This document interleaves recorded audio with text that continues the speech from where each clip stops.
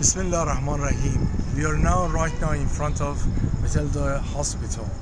It is around 10:30 at night.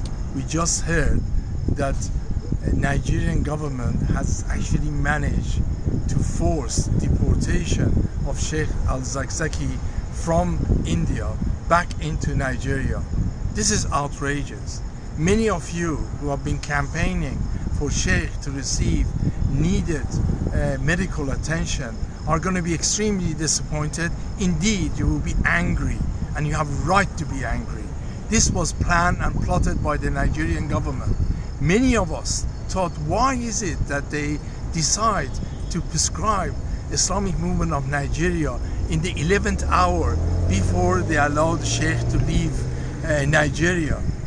The reason for it was to create an environment that when Sheikh is coming here to get medical attention, he will be treated as a terrorist, he will be treated so badly that he could never possibly accept to be uh, treated in this hospital or indeed in India.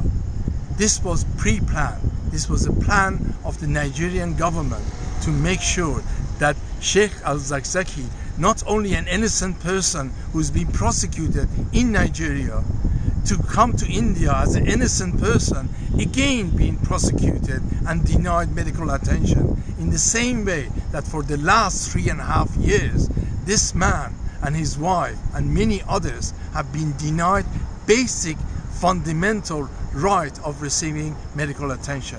We, the campaigners, are not going to accept this.